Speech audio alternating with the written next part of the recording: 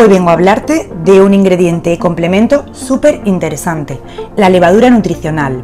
En alguna ocasión me preguntáis la diferencia entre levadura nutricional, levadura de cerveza y la levadura que utilizamos para hacer en casa esa repostería saludable fit que tanto nos gusta e incluso para la elaboración de pan. Eso lo veremos al final. Lo que debes tener claro es que ahora vamos a hablar de levadura nutricional, que precisamente ese adjetivo le viene por la cantidad de nutrientes que presenta de manera natural. La levadura nutricional de HCN es una levadura inactiva en polvo que además procede de una materia prima registrada, la materia prima es engevita. Es muy importante que esta materia prima sea de calidad porque nos puede vender algún producto con este aspecto que no sea realmente lo que buscamos y como decimos es un producto con muchos nutrientes, una concentración de proteína muy elevada, un 50% es proteína vegetal, también un 20% de fibra e infinidad de vitaminas y minerales interesantes como la niacinamida e incluso eh, ácido fólico que están presentes de manera natural, como digo, en esta levadura nutricional.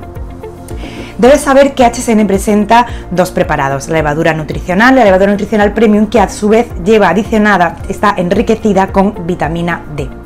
A pesar de todas las vitaminas y minerales que presenta la levadura nutricional, debes tener en cuenta que si llevas una alimentación vegetariana estricta, no será suficiente con la B12 que pueda llevar adicionada esta levadura. Debes complementar tu dieta con B12 de manera exógena. La diferencia que encontramos entre la levadura nutricional, levadura de cerveza y la levadura que utilizamos para repostería es que esta última, por ejemplo, es una levadura que no está inactiva. Precisamente lo que buscamos es que pueda fermentar y que pueda crear ese volumen que buscamos en nuestra repostería o en nuestro pan. La levadura de cerveza es un subproducto y también contiene algunos nutrientes, pero la levadura nutricional se extrae precisamente, se produce precisamente con este fin, con este objetivo.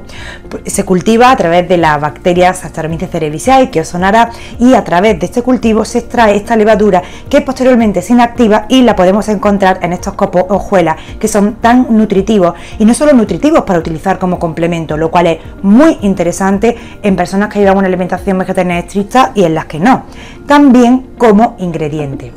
Y es que debes saber que en cocina vegana ya se conoce, pero no tanto quizá en otras, la levadura nutricional es el ingrediente principal y el que le da el toque estrella a el queso vegano. Cuando queramos producir en nuestra casa un queso vegano porque llevemos una alimentación vegetariana estricta o simplemente porque no podamos o no queramos consumir lácteos, la levadura nutricional se torna indispensable. Debes saber también que tiene múltiples aplicaciones. Yo personalmente la adiciono últimamente a casi todo, desde ensaladas, purés, cremas, lentejas, guisos varios de legumbres. Le aporta un sabor espectacular que recuerda efectivamente al queso, recuerda entre un sabor que recuerda entre al queso, frutos secos, más conocido como sabor umami, no ese sabor cárnico que tanto buscamos. Por eso se está convirtiendo en un ingrediente indispensable en nuestra cocina. A pesar de ese toque saladito que le notas, no es muy elevada en sodio, ni siquiera lleva sal adicionada, debes saber que no lleva nada más que la levadura en polvo inactiva.